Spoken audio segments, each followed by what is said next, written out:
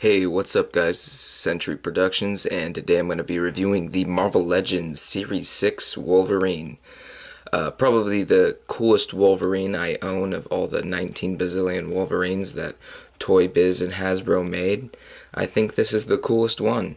Uh, definitely my favorite costume that Wolverine has worn, especially as a figure. This is when he was training as a samurai in Japan um, which is why it came with uh, this that base that he came with. He came with a base which was actually the same base that came with Elektra, except it came with uh, Ogun, who was a guy sitting on front of it, and it came with a sword. Um, I forget what the sword's name was, but I'm not gonna be reviewing the base, just the figure, or the and, and not the sword either. Uh, but definitely my favorite Wolverine. Uh, you, my favorite Wolverine used to actually be the Astonishing Wolverine, but not anymore. So, um, you know, coming from Series 6, which is extremely strong series, I mean, this is the same series you got Deadpool, same series you got uh, Juggernaut in, uh, Phoenix, you know. It's a really strong wave. Probably the, the uh, most recognized Marvel Legends wave was Series 6. And this figure was pretty hard to come by from what, I, um, what I've heard in the past, but definitely one of the coolest figures I've, I've handled. So he is used, you know, utilizing that that Wolverine body mold that you have seen on some other figures, uh, like the 25th anniversary silver variant Wolverine and the Red Hulk Wave Wolverine. So very cool. You know, there's not very many paint applications on this figure, um, other than the arms where the veins are, and uh, some some brown. Nothing really on the inner legs or anything like that. So uh, this is a pretty straightforward figure, and I think he is one of the best um, action figures I've ever owned.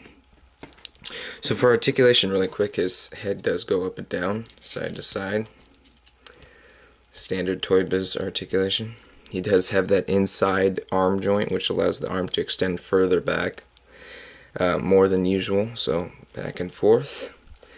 Uh, it has a ball joint at the top of the arm, up and down, front and back.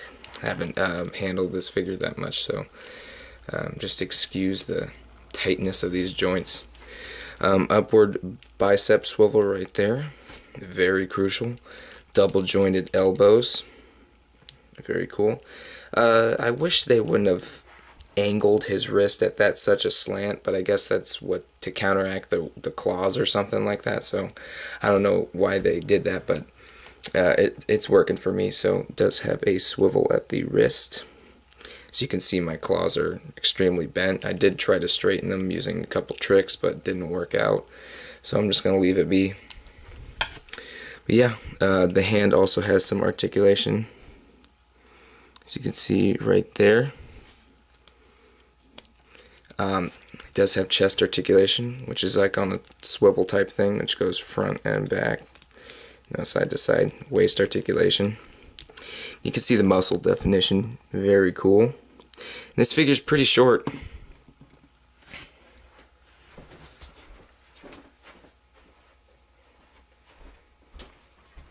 Here's the Series 3 Wolverine. So Series 3 Wolverine's a little bit taller than him, and this was probably the average 6 inch figure, so it's a little size comparison you can see right there. The claws are done with just a straight silver. There's some overlapping onto the brown glove right there, some of the silver paint. Not a big deal, but you know, you got the hair on his arm. Very nice touch. I think this is really awesome. He also got the green veins on his arm, you know, very similar to the Juggernaut variant, if I believe, from the same series. So you can see where they were going with that.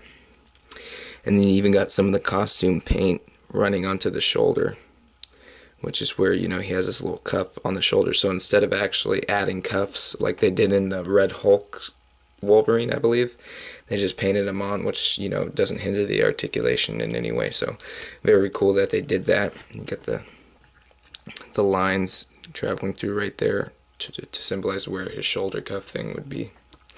Very cool. Got two ball joints at the uh, upper leg, so that allows it to go forward and back, side to side.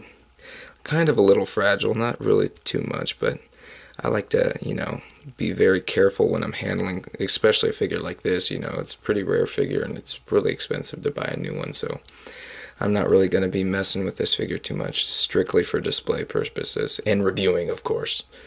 Uh, double jointed knees, and you got all of uh, the information on the inside thigh right there. 2004 Marvel Entertainment Toy Biz, very important.